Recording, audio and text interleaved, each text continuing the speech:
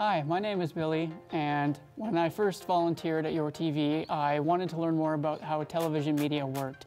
So when I joined, I learned a number of different things, such as setting up a camera, different camera angles, and how to effectively communicate with other people when things go sour.